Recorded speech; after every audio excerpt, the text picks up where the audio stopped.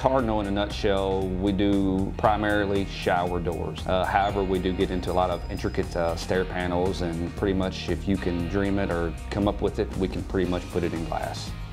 CMS uh, had approached Cardinal about a new vertical machine that supposedly had worked out all the kinks in the verticality of the machine. The primary reason that we looked at the Vertex was simply the time savings on fabricating a piece of glass. The process of the Vertex is simple as the, the carts roll over with the glass on it, stacked on it. We essentially have an operator that uh, usually goes through the carts, pulls all the orders, paperwork off of the cart, and at that time they simply go through the software and uh, do a few minor tweakings. They transmit the file to the actual Vertex, and at that point, uh, after they get four or five programmed, they can start loading the machine and then the, the cycle is pretty much repetitive from that point. Uh, after we get it up and going, the process doesn't stop. Basically, you're looking at uh, two spindles.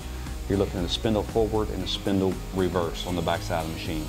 Both sides have a tool crib that have eight uh, different tools that go in each head. We do have that capability of drilling holes front and back. So when you're looking at these machines, you're going to see the drill front head move forward it's going to drill halfway through the material. Then you're going to see the reverse head come in halfway in the material, and at that point your slug, the glass, leftover excess material is going to fall in the tray below.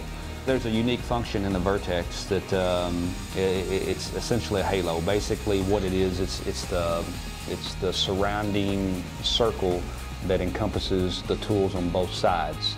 Uh, it, it, does have water, so basically when the machine is running, the halo is constantly shooting water frontwards and backwards, and it acts as a cushion to help the glass from being scratched. That's probably one of the most important aspects of the Vertex is the fact that your remake level has decreased and your volume has increased.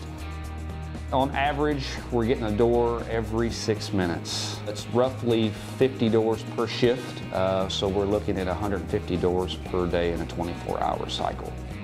I have a really good relationship with CMS. They are the guys I go to when the machine hiccups. Uh, all of their guys that they send on site to install, basically we have one-on-one -on -one conversations all the time. They're really good about letting us, no matter what time of day, no matter what need, no matter where they are, call and uh, ask questions and give us advice and help.